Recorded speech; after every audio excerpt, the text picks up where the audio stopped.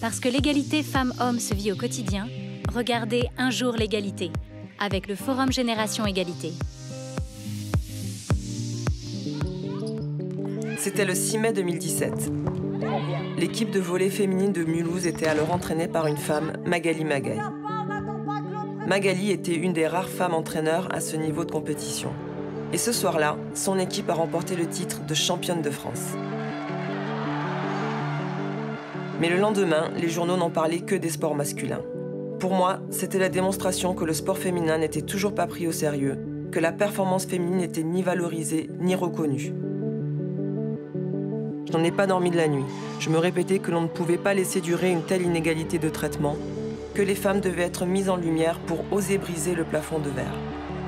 Depuis, je me suis engagée pour la promotion de la performance des femmes dans toutes les sphères de la société.